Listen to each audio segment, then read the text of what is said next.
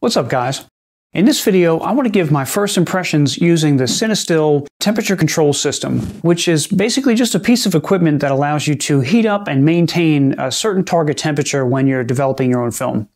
Now, sometimes learning new equipment can be a, a little bit daunting, and while I absolutely recommend that you, you read the instructions that come with the unit, just for the sake of science and, I don't know, the thrill, I'm going to just use the unit out of the box. No instructions. I want to see just how user-friendly this thing is. You know, I have no experience with the unit, and I want to take it out of the box, and I want to try to use it and develop a couple rolls uh, with no prior knowledge of using this unit. So just to see, you know, how user-friendly it is. Now, in this first run, I processed seven rolls of film, uh, most of which were 35 millimeter. I think I had a roll of 120 in there.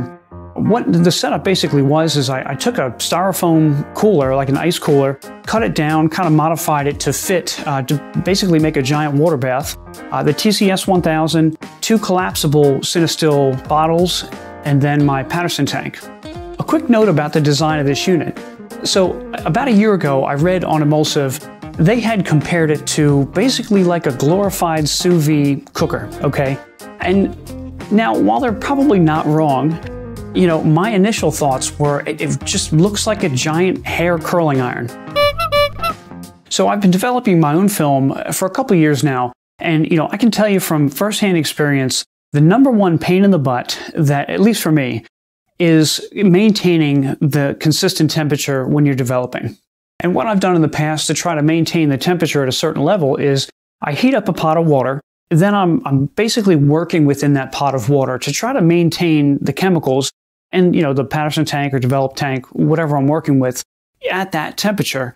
But it's really it's a dance because I'm, I'm constantly chasing the temperature up and down. Sometimes it's too hot, sometimes it's too cold.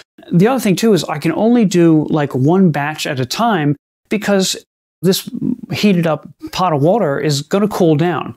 So the pluses of this whole TCS 1000 is you could do like multiple batches sequentially over and over and over again because it's going to maintain that temperature. So that for me was a, really appealing aspect of this whole system. Now this thing has a couple neat features. First, uh, you know, first and foremost, it's going to be a, a thermostatically controlled heater, which is going to maintain heat up and maintain at a constant temperature. One of the cooler things that I, I, really love about this is it also has a circulator. So not only is it going to heat up the water, it's doing it by circulating the water inside, you know, whatever bath you're using to make sure that you have an even temperature.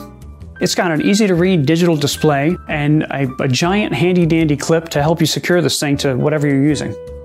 Now at about $100, you're probably wondering, you know, how cheap is this thing? You know, what is the build quality? And I, I can say, you know, from somebody who uses power tools every single day,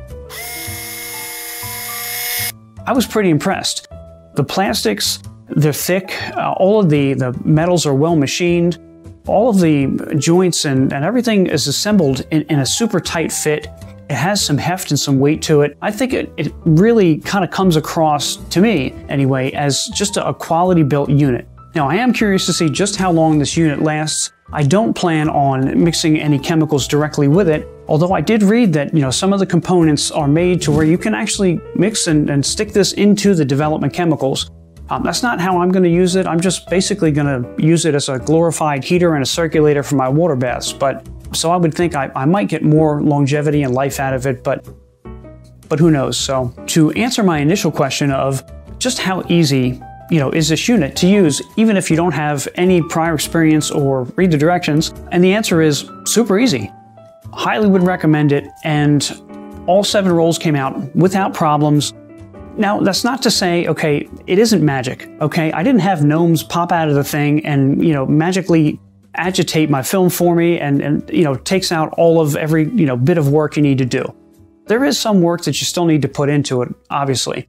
Anyway, hey, I hope this was helpful. And if you guys are thinking about picking this up, I love it. I'm going to be using it consistently from now on. And uh, yeah, I hope everybody's well. And until the next video, we'll see you.